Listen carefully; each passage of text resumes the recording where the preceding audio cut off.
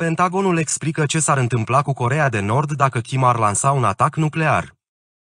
Pe 27 octombrie, Pentagonul a publicat trei documente care descriu strategia națională de apărare a Statelor Unite. Cea mai recentă revizuire a posturii nucleare și a politicii sa privind apărarea antirachetă, Nuclear Posture Review.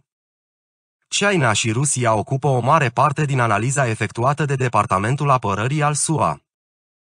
Însă Corea de Nord este țara care primește cel mai mare avertisment dintre toate documentele eliberate în versiunea lor neclasificată.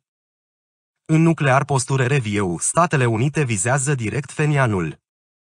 Regimul Kim Jong-un se arată în raport, reprezintă o amenințare persistentă și un pericol tot mai mare pentru Statele Unite și regiunea Indo-Pacific pe măsură ce își extinde. Diversifică și își îmbunătățește capacitățile nucleare, de rachete balistice și militare.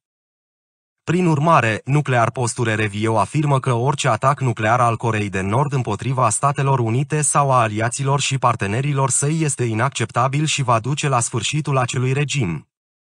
Și dacă nu este suficient de clar, adaugă, nu există niciun scenariu în care regimul Kim să poată folosi arme nucleare și să supraviețuiască, scrie la Razon S.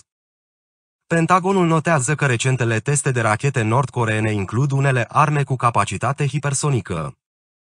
Așa cum sunt definite de Fenian și reamintește că majoritatea rachetelor balistice nord-coreene au o capacitate evaluată de a transporta încărcături nucleare.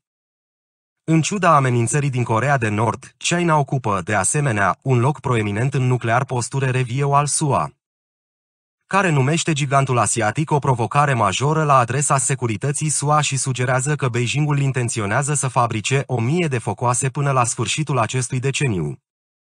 La o conferință recentă la Consiliul Atlantic, Richard Johnson, secretar adjunct al apărării pentru politica nucleară și combaterea armelor de distrugere în masă, a declarat că Statele Unite sunt foarte îngrijorate de construcția a două reactoare de reproducere rapidă în China.